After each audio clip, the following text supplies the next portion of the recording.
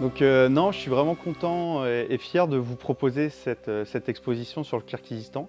Pouvoir euh, vous faire partager ces, photos de mon voyage, pour moi c'est quelque chose de très satisfaisant et ça va conclure un gros projet et de aussi conclure ce voyage qui est vraiment important pour moi, qui m'a appris beaucoup de choses et qui m'a permis de me lancer en tant que photographe professionnel. Donc je suis vraiment content de vous faire partager ce voyage avec moi. Alors pourquoi mon voyage au Kyrgyzstan? En gros, j'ai voulu découvrir et apprendre vraiment et approfondir le métier de photographe et en même temps lier ma passion qui est le voyage. Alors j'ai rencontré euh, un photographe sur les réseaux sociaux, sur Instagram, qui euh, m'a proposé de partir avec lui.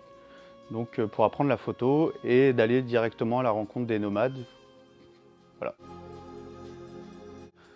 Je suis parti euh, faire ce workshop, donc c'est un, stage de perfectionnement et un, gros stage professionnel dans, ma démarche de devenir photographe. Euh, pendant les 14 jours, on avait aussi des cours, un à deux fois, un jour sur deux, on va dire. On avait des cours vraiment de base avec des thématiques sur la photographie.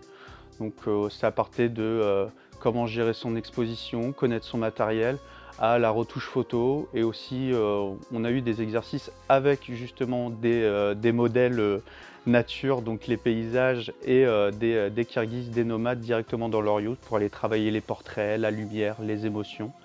Donc ouais, ça a été un, gros gros stage, stage voyage, on peut dire ça comme ça.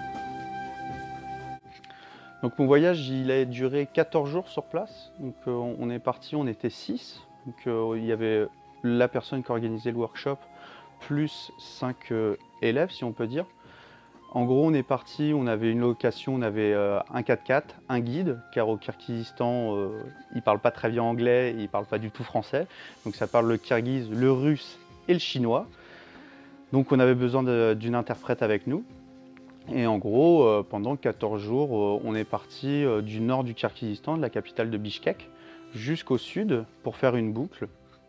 Et euh, à partir de là, on est, euh, monté en altitude au début de la chaîne de montagnes euh, pas très loin de l'Himalaya pour aller rencontrer des nomades. Donc qui sont situés généralement sur des points d'eau, donc des, lacs en haute altitude à plus de 3500 mètres d'altitude. Et c'était des journées où on avait un point de départ, un point d'arrivée et on prenait ce qu'on avait à prendre dans la journée, des rencontres. Les nomades ne sont pas toujours au même endroit, ils vont changer de place en fonction de la météo aussi pour euh, faire nourrir leur bétail. Donc euh, on avait à peu près 4 euh, heures de marche par jour. Donc des fois on était à pied, en 4x4 ou même des fois à cheval. Donc ça c'était trop bien. Donc les 14 jours à la rencontre des nomades. On ne savait pas trop où on allait, mais on y allait. Non, le Kyrgyzstan, c'est un pays, euh, c'est plus plein de pays. Il va y avoir le Kazakhstan, l'Ouzbékistan, le Tadjikistan. Ça fait partie du moyen, euh, du, euh, de l'Asie centrale, pardon. Et je pense que c'est vraiment des régions qu'on ne connaît vraiment pas et qui sont vraiment. Il faut vraiment connaître ces régions parce que c'est des peuples qui sont, qui sont incroyables. C'est un paysage magnifique. On a encore la chance ce soit un endroit encore préservé aussi du gros tourisme. Donc faut y aller, mais sans trop y aller non plus. mais euh, non, c'est vraiment un pays magnifique euh, avec sa propre culture. C'est vraiment, vraiment une culture à part. Et euh, j'étais vraiment content de rencontrer ça. Et, et à chaque fois que j'en parle à, des gens, s'ils peuvent y aller aussi, c'est vraiment un pays incroyable.